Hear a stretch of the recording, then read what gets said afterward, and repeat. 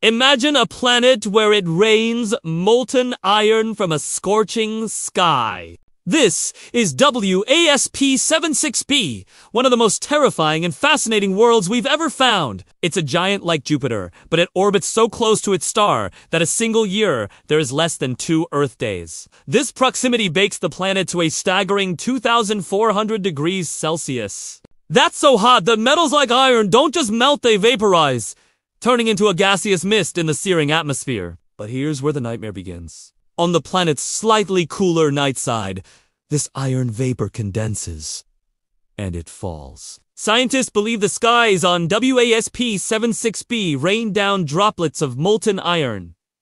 A perpetual, burning downpour on a world of eternal twilight. It's a hellscape so extreme, you wouldn't send your worst enemy there. Want to explore more planets that defy imagination? The full tour of the galaxy's weirdest worlds is even more shocking. Subscribe for more interesting content.